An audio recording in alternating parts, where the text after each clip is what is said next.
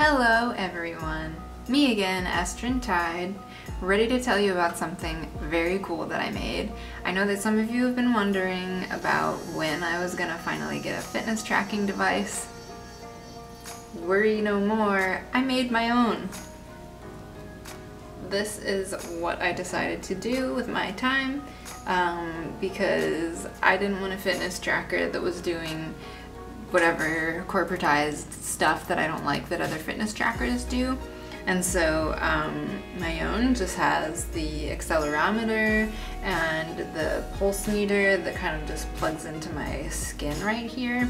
Um, built into it. It's also got galvanic response so I can tell how much I'm sweating um, and all kinds of other cool features. Um, I've got these, uh, what's the best way to show you this? I've got these buttons on here where I can you know, um, tell it to start taking the data or stop or when I want it to upload to the cloud, I push this one right here um, and voila! I think it looks pretty good. Um, I wasn't able to afford a LiPoly battery so I've got this pack right here but hey it lasts longer than a LiPoly so I think that it's fine. The cord doesn't really bother me. it's not like um, you know, it's not like it's gonna be a problem at all. So this is what I did. So I'm gonna give you um, a tutorial today on how you can make one of these yourself. It's super easy, it's pretty affordable, it's certainly cheaper than buying a Fitbit, and you don't have to worry about a company collecting your data or telling you how you should be collecting your data.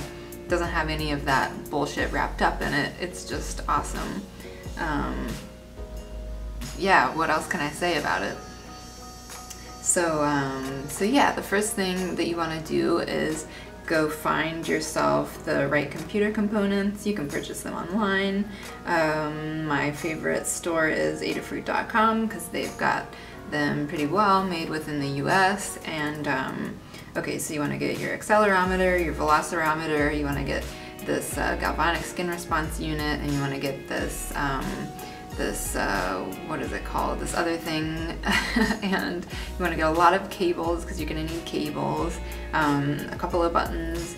If you want something else to do that, you're going to want to get um, a Wi-Fi unit so it can go to the cloud. Um, you're also going to want a, a, a power supply.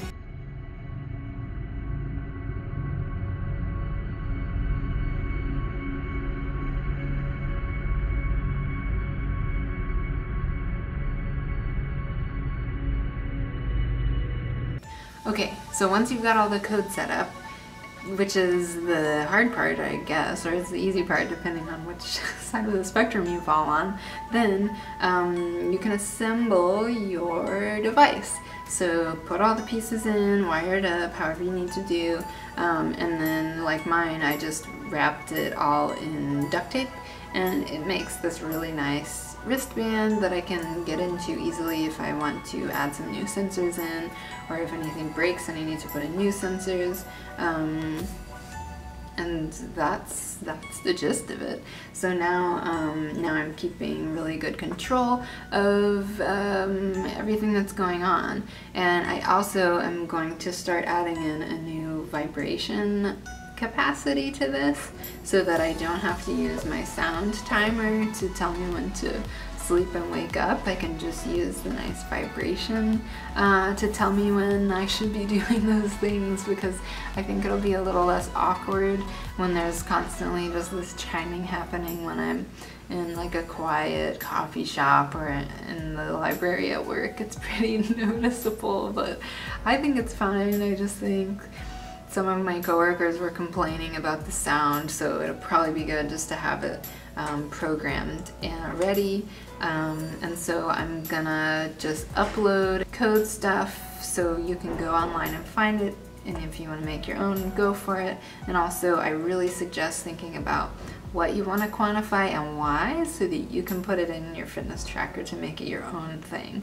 Like the amazing ability to measure your body's hormone levels with what the planets are doing because I'm not going to bother to read horoscope that's written by someone else and I think this weird interpretation of some other person telling you what's going on with you in relationship to the planets just seems really silly. So now I can look at the raw data of where is Mercury, what are my hormones doing, and then I can interpret from there. So that's a software project that I'm starting, and I'll let you know when I've got that up and running because maybe you're interested in doing it for yourself.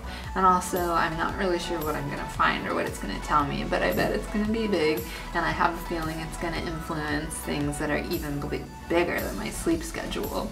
Um, but I'll rant about that on another episode because I don't know if I'm ready to talk about it yet.